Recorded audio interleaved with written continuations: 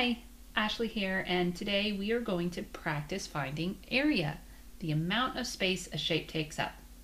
Let's go.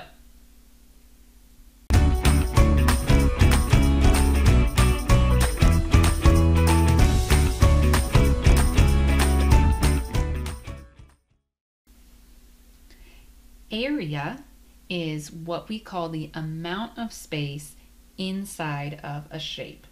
In this video, we are going to focus on the area of squares and rectangles. And you can see here on the right on this grid, I have a square that has a length and width of three squares long. And you can count inside, there is a total of one, two, three, four, five, six, seven, eight, nine squares inside my big square.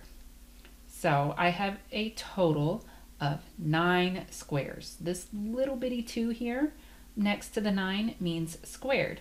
So what we would say is the area of this square is nine squared.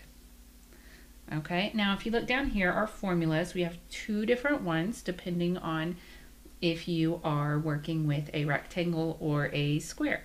So our rectangle here is area, A, is equal to L, length, times W width. So you do length times width, and that will give you the area of your rectangle.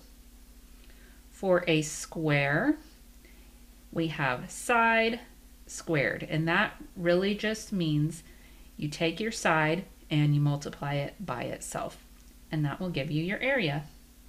Let's try one. Our problem here says if a rectangle has a width of 2 centimeters and a length of 3 centimeters, what is the area of the rectangle? Now you can see we already have a rectangle here on the right. And since the grid is already filled in with 2 going this way and 3 going this way, we could just count up how many boxes are inside. There's one, two, three four, five, six. But we don't always have a picture. So what we know is there are two groups of three, right? So the first row has three and then the second row has three. Two groups of three. And to find that, you would multiply.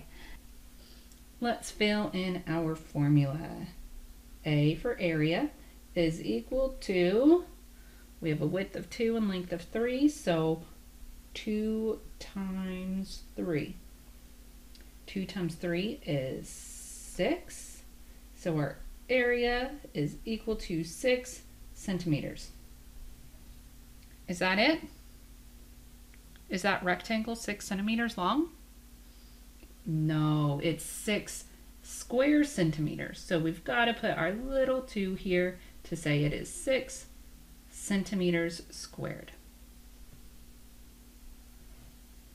Let's try one more. This time we do not have our shape drawn for us. Our problem says, if a square has a side length of 6 inches, what is the area of the square? Well, let's use our formula. Area is equal to 6 inches squared, which basically is the same thing as saying 6 times 6, which is, our area is 36 inches squared. And you've got it. Now go practice what you've learned with our online games and quizzes and remember to always be clever.